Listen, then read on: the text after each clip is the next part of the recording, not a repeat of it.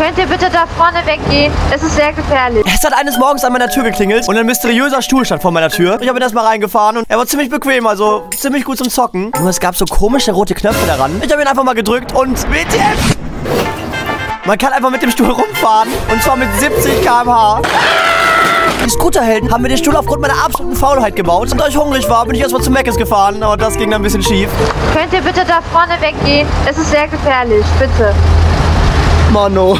Wenn ihr sehen wollt, was noch mit dem Stuhl passiert ist, dann schaut auf dem YouTube-Kanal von den Scooterhelden vorbei. Es ist absolut wild.